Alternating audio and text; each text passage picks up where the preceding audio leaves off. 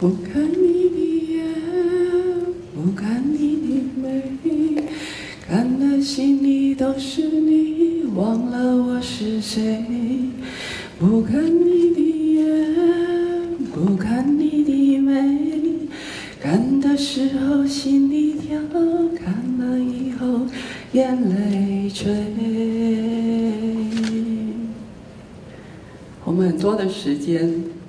都活在别人的眼中，然后你花了很多的时间，想要成为一个被别人称赞的人，你很竭尽的心，很竭你很竭尽心力，想要扮演好这个让别人称赞的角色。有时候，在这个竭尽心力的时候，你有没有曾经问过自己，你是谁？就是如果你把这些想要别人称赞的角色放掉的时候，你有没有曾经很认真的问自己，原始的你是什么样子？那这个问题有可能太大了，所以我们再用一个范围比较小的方式来思考这个。这个范围比较小的方式就是呢，如果这世界上只有你一个人，这世界上只有你一个人。那你会选择用什么样的方式生活？既然这世界上就只有你一个人，那你的名字、你的职称、你的学经历、你的专长、你的获奖记录，这些它都没有意义了。那这个时候，你会怎么生活？这是我体验生活的一种方式。我常常呢，把所有的状况变成没有。把所有的状况变成没有，然后再从其中我去想象我想要有什么，然后再去想象，才去知道我拥有的过程当中，到底这些是不是我想要的？那这三个问题呢？我是谁？那不用说服别人的时候，我要怎么生活？那如果什么都没有的时候，我想要有什么？这就是我第二个人生开始的时候，我问我自己的问题。那一定会，你一定会很好奇，说为什么会有这样的转折？为什么我问自己这是这三个问题？就是因为在我四十岁的时候，那时候我在一间老人日间照顾中心照顾一群八十岁起跳到九十五岁的长辈，时间大概两年半。那我在照顾他们的过程当中。我深深体会一句名言，叫做“忧伤的灵，蚀骨枯干”。不知道各位有没有听过？在我工作的过程当中，我常常会觉得长辈的身上不断的飘着“忧伤”这两个字，所以当时我就会就会觉得，嗯，“忧伤的灵，蚀骨枯干”这句话的情景确实是存在的。所以我当时呢，在我工作的时候，就不断的思考我的人生的终点。应该是什么样子？我从看到他们的时候，想象到我自己。所以呢，我当时思考这样的问题之后，我最后给自己的答案就是：我想要快乐。相对于忧伤，就是快乐嘛。当时我就很单纯，就是这个想法。我想要快乐，在我四十岁的时候。那想要快乐，它一定会有一个起点，要从哪里开始呢？我觉得工作很重要。因为工作占我们三分之以上的时间，而且工作的时候你会像涟漪一样不断的遇到不同的人，因为你的工作有接触不同的人、不同的事情，所以我觉得我应该要有一个让我真心喜欢、让我快乐的工作，好，作为一个第二人生的起点。那这个时候呢，如何是自己真心喜欢的工作，就是一个很好的问题，对不对？那这个问题要从哪里去探索？那当然是你过去的人生带给你什么样的结论？你从你过去人生的结论里面去探讨什么样的生活是你真正想要的，什么样的工作是你真心想要的。这个时候我的条件是这样：我那时候在四十岁的时候选择重新选择一个工作的标准是这样：第一个，这个工作不用写履历表。因为我觉得到四十岁的时候，如果我再重新写履历表，所有的东西它其实都是陈年往事、过眼云烟。我觉得再讲也是没有意义啊。因为我觉得，我觉得在这个时候在写履历表的时候，感觉就是把所有的往事再一遍。所以我当时第一个条件就是这个工作它不用写履历表，这是第一个。第二个呢，这个工作不要有老板，不要有同事，因为我我觉得有工作上有很多的困扰，都来自于老板，来自于同事。哦，我们做了很多，就是讲了，譬如说言不及义的话啦，力不从心的事情啊，都是因为这。老板跟同事的关系，所以我那时候有这样的心愿。那当然还有另外一个心愿呢，我希望我四十岁的人生能够很单纯的，有很长的一段时间可以单纯的跟自己好好相处，知道自己是谁，知道自己未来要什么。所以我尽量把它简化。那尽量能够简化呢，所以我希望我这个工作呢，没有老板，没有同事。那第三个工作呢，因为我希望简化我的生活。好，那既然没有老板，没有同事，当然最好的就是连场面话都不用说了啊。所以最好呢，就是也不用交际，也不用应酬。这是我当时在重新选择工作的时候三个条件。所以最后我选择了计程车司机。好，那当然这个当时呢，我就是基于这个三个条件而选的这个工作。但是后续后续的发展才是我觉得非常特别的部分。这是我工作的场景。我工作的时候就是我方向盘，还有挡风玻璃前面所看到的景色。那我车上就是没有客人的时候，我就是自己一个人，所以我可以不断的回想我刚刚讲的三个问题：我是谁？这世界上如果只有我的时候，我要怎么生活？如果我什么都没有的时候，我想要什么？那我就在这样的空间里面不断的思考这三个问题。所以呢，最后。我觉得人要独处的时候，你才会真正会知知道我是谁，还有人生的意义是什么。那我是谁呢？在当时我就会觉得，因为我每天生活在大自然里面，因为我的车子在自然的环境里面跑，我的空间已经不再是办公室的水泥森林，我每天都在大自然里面。所以我那时候觉得我是谁？我觉得在这个宇宙里面，我们很微小，也很巨大。而微小就是以我们的面积体积来讲，我们当然是很小。可是我们也很巨大，是因为我们是唯一的，就是我们每个人的基因都是唯一的。你可以做的事情也是唯一的，好，所以其实我们很微小，我们也很巨大。那人生的意义是什么？我们生活在这个空间里面，其实是有被很多东西所无条件的支持着，好，所以我们在这个空间里面是有很大的爱在支持支撑着我们每天的生活，有大自然的爱，人类的爱都有。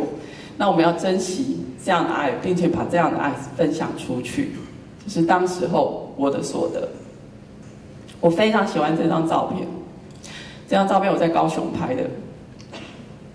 我觉得人生哦，就像一场单打的赛事，好，不管你打的是网球、羽毛球还是乒乓球，你上场之后，你的教练、你的加油团都只能在你比赛的场地之外。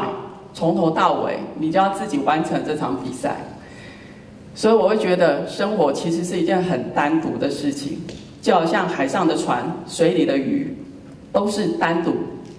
海上的船在单独的航行，水里的鱼它是单独在游泳。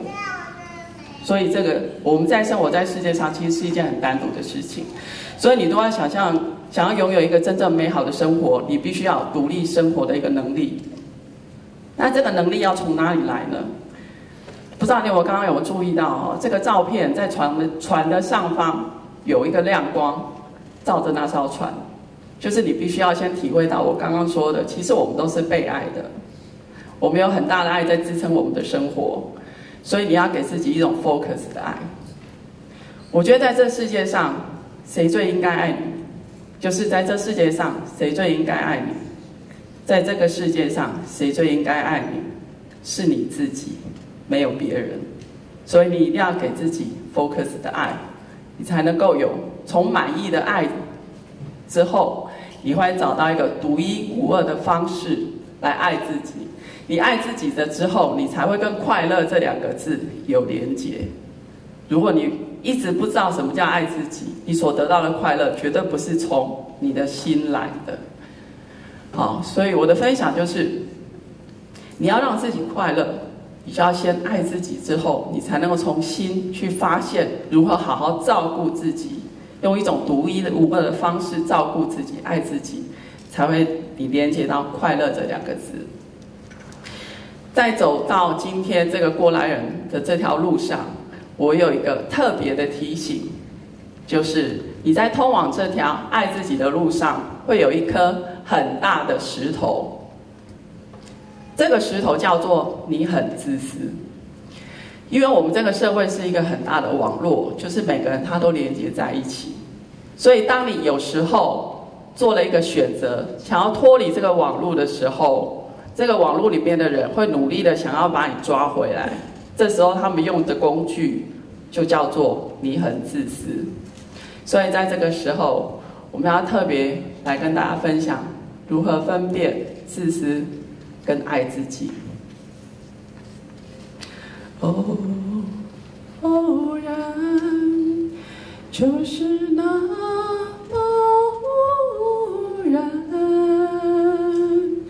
让我们并肩坐在一起，唱一首我们的歌。我非常喜欢唱歌，因为我觉得唱歌是娱乐我自己的方式，让我非常开心。而且我不用使用任何的工具，我就可以让自己很开心。但是如果我在下一个讲者站在这里的时候，坐在我的位置上，然后站起来，突然对后面的人开始唱。忽然，就是那么忽然，这样可以吗？当然不行，对不对？因为如果我站在那里唱，那上面会影响上面的讲者，以为在影响在下面听的你们，那这个行为就叫做很自私。可是同样是唱歌这件事啊，所以他到底什么是爱自己？什么是自私？只有一把尺，但是这把尺你要自己去体会，自己去体会之后，这个才是你的。那我觉得你拥有这把尺很重要，因为当人家用这块石头放在你的面前，不让你继续走的时候，你可以分辨什么叫自私，什么叫爱自己的时候，你就可以把这个石头移开，然后继续往下走。所以你的心里面要有这把尺。那我既然到四十岁的时候才做这样的转折，那我过去三十几年认识的亲朋好友，他们当然会非常有爱心的跟我说：“不要这样，我跟你说，我们就继续在办公室上班，然后等着领退休金之后去环游世界，这样不是很好吗？”然后我那时候回答说：“我觉得快乐是要从现在，就要从这里。”开始，不要等待。我觉得快乐是一件不能等待的事情。而且我我有个发现，就是说，如果一个人可以快乐，旁边会有一群人跟着快乐。因为我觉得快乐是这个社会里面非常需要示范的动作。当你能够示范快乐是一种选择，你选了之后，你就有机会获得。你会发现，旁边有更多的人会去思考，他们有没有机会，因为一个小小的动作，让自己的生活。变得比跟以以往非常的不一样，快乐跟他们不会再这么的遥远，所以我觉得这件事是非非常重要的事情，所以我常常提醒人家说，快乐就是现在，就是这里，不要等待，不要等到你退休，你到退休金再去环游世界，而且那时候你不见得会有力气。那那我还有另外一个所的，就是说。让自己快乐是爱这个世界最好的方式。记得我当时有这个转折的时候，是因为我从一群照顾长辈的过程当中，体会那种忧伤的心啊。那我觉得我们人跟人之间传递，如果一一一边的选择是传递忧伤，一边的选择是传递快乐，为什么我们不选择传递快乐这件事情？我觉得你传递快乐，快乐一种光，这种光会改变每个人的生活。所以呢，让自己快乐呢？你旁边的人会跟着受你影响，所以我觉得让自己快乐是爱这个世界最好的方式。我觉得放在这样的过程里面，我觉得第一个要做的工作就是忘了自己是谁，应该是谁，忘了自己应该要是谁，就是别人设定的你是谁，你的学历经历告诉你你应该是谁，你必须要忘了这件事情，然后把自己归零，变成没有，好好的问自己。你想要有什么？那你的心会告诉你，你会有一个无限可能的方式，做一个什么都可以做的人。那有个人问我说：“那如果全世界每个人都生活的像你一样，最后这世界会变成什么样子？”我觉得这个问题非常好，因为我们每个人都有非常独特的基因。那我觉得，如果每个人都可以用这样的方式生活，那每个人都会长成一朵快乐盛开的花朵。那这个地球呢，就会变成一个非常漂亮的花园。所以我真心的觉得，快乐是慈善的目的。谢谢大家。